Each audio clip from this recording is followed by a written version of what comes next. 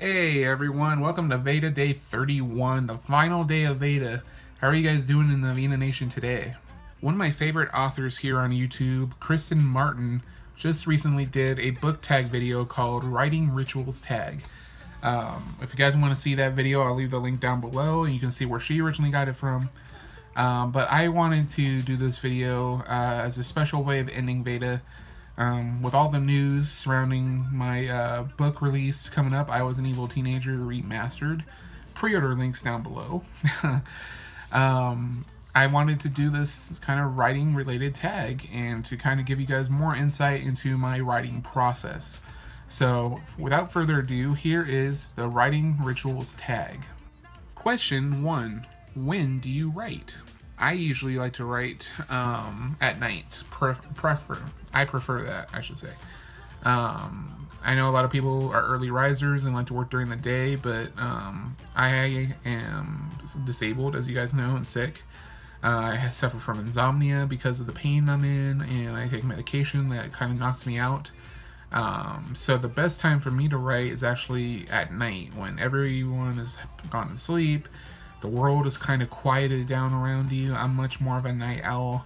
I can just put my music on and just zone out writing. Um, that's the best time for me to write. Question two, how do you seclude yourself from the outside world? Well, that's really easy um, because it kind of goes back to question number one. I work at night and the whole world around me kind of quiets down um, I put my phone on vibrate or mute uh, so that I'm not kind of barrage, getting a constant barrage of notifications. Uh, put my music up, and you know my animals are sleeping at that point. Um, all everything I, I, need to have get done gets done during the day, uh, whether it's you know cleaning the house, um, taking care of the animals, um, working, uh, my day job. Uh, all that stuff is done during the day. And so when nighttime comes, uh, it's just me time and it's my time to write. So everything around the, me kind of just quiets down and it's just me and my writing. Question three, how do you review what you wrote the previous day? Well, I keep a notepad open while I'm writing and any important developments with characters or the plot, I write down on my notepad, and uh, that way I don't have to keep going back and forth and messing up my flow pretty much when I'm writing. Every writer is different, and that's the same for all these questions. Every writer has their own technique or their own way of doing things. Uh, but me, I keep, mm, you know, really detailed notes on the important things I need to know for the story going forward. That way I don't lose track and I have it in case the book I'm writing is part of a series and I need to know it for the next book going forward. So I always keep notes and uh, write everything down. Question four, what song is your go-to when you're feeling uninspired? That's actually a really good question. Um, music is a huge part of my writing process. Music is my biggest source of constant inspiration as I'm writing. Um, as far as my go-to song, there are several songs. Um, there's one artist in particular lately that I've really enjoyed, and that's Jeremy Jordan. Um, you guys might know him as uh, um, Winslow Schott. is his name, Win, on the CW Supergirl. Uh, he was also on one of my favorite series that got canceled, Smash, on NBC. Uh, I love that show. He was amazing in it. Um, but he's been in a lot. He was also in the movie called The Last Five Years with Anna Kendrick um, a great Broadway musical star. Um, but he has several songs that really uh, serve to inspire me and to, to get me motivated. Uh, he actually played a writer in the last five years. Uh, the song um, that probably inspires me the most right now of his would be it's close. It's between Broadway Here I Come from the show Smash or um, what is that song? Um, Moving Too Fast by um, from the last five years soundtrack. Both those songs are inspiring. Um, they talk about you know pursuing your dreams and uh, beware being aware of the pitfalls of success and fame. Um, but the way he sings it and the passion in which he delivers these songs um, kind of serves as an inspiration for me when I'm looking into character insight and uh, always gets me motivated. So that's the song I listen to. Question five What do you always do when you're struggling with writer's block? Well, um, when I'm dealing with writer's block, I think it's very um, almost painful to sit there beating yourself up because you are having writer's block. It doesn't serve you to just sit there and stare at the page all day.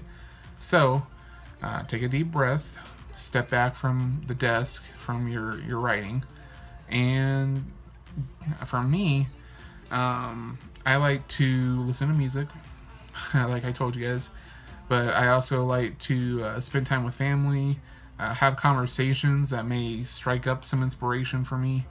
Um, you know, because I get a lot of inspiration just from daily conversations. So many stories I've written um, come from that. Uh, I was a teenage killer, which is the first book from my Evil Teenager series that is now being remastered.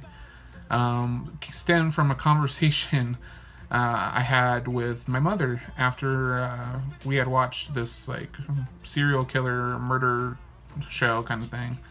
Um, and we were talking about you know motivations for the people who go to that extreme and all that. Um, and we were kind of talking about movies always making serial killers these like big hulking outsiders that are disfigured or have been wronged by society or something. Um, and I wanted to challenge that that stereotype.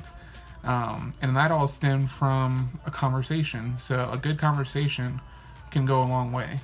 Uh, I also enjoy video games um, because I love television and movies and stuff, and they're great inspiration as well. But I think you get so much more world building out of a video game.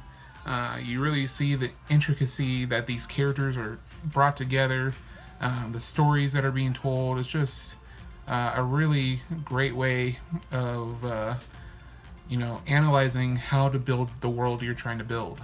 So those are kind of some of the things I do to uh, kind of fight off writer's block. Question six, what tools do you use when writing?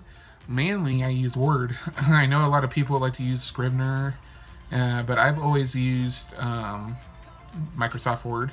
Uh, it served me well. I also use uh, Notepad uh, to keep comprehensive notes. You know, I'll use, you know, dictionary and thesaurus, a thesaurus uh, when I'm working. Um, but really, Word is my biggest uh, tool that I use. Question seven What is the one thing you can't live without during a writing session?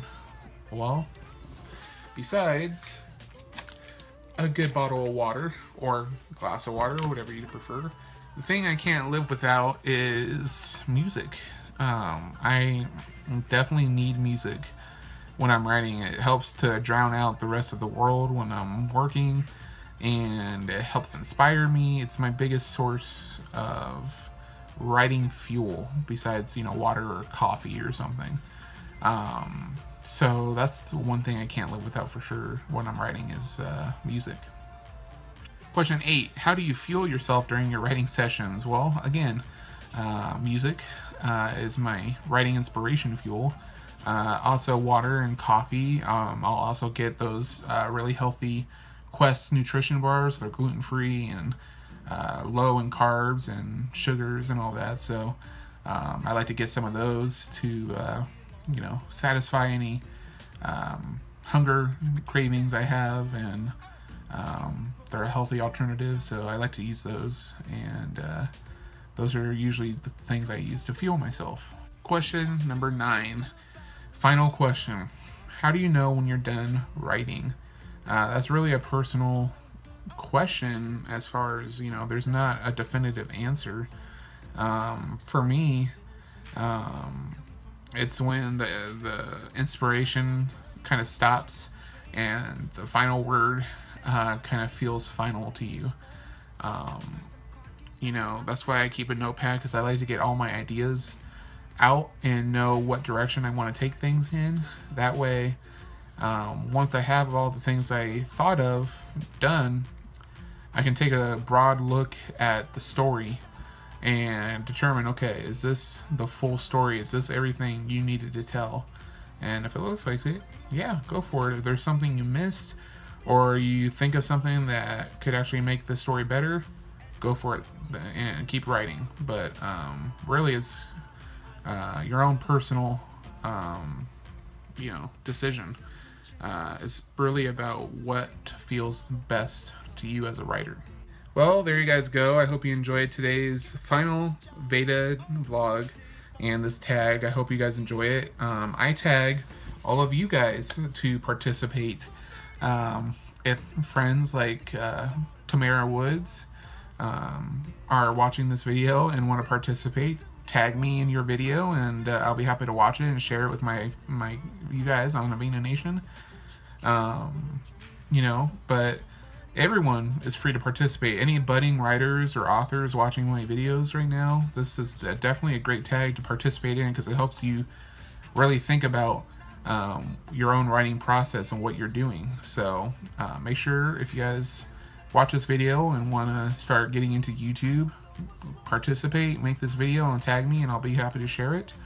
And uh, yeah, thanks for hanging in with me today, guys. You guys can find the questions down below along with my social media links where you can tag me and follow me um, on Instagram, Twitter, Facebook, all that fun stuff. Um, also, my pre-order link for I Was a Teenage or I Was an Evil Teenager Remastered, the three novella series, is available now on Amazon. It's only $2.99. Uh, that link is down below. It's going to be available in iBooks and Barnes & Noble very soon. Um, but yeah, you can check all those out. You can also follow me on Facebook and subscribe to my email newsletter there. That way you get a free short story and you get up-to-date news on my writing, on my YouTube channel, all that fun stuff. And it's free, so you can sign up for that there. And you can also um, get check out my Wattpad page where you can read some of my stories for free. And yeah, that's everything, guys. Thank you for tuning in and hanging with me during Veda this year. A very successful Veda. Uh, really enjoyed it and uh, we're gonna go back to uh, maybe once or twice a week. Um, I just found out through my analytics that uh, Mondays and Fridays at 4 a.m. is the time of night you guys love to watch my videos. At least 4 a.m. Pacific time for me. Um, that tells me a lot of you guys are in the UK, and it really um, means a lot to me that you guys in the UK are watching and uh, hanging with me. Um, but yeah, everyone who watches this video and who's been watching Veda this year, thank you for being a part of the Avina Nation. Um, if you like this video, please give it a thumbs up and subscribe. And uh, remember, Avina Nation, keep hashtag hope alive. You guys have a wonderful day, and I'll see you in the next video. Long days and pleasant.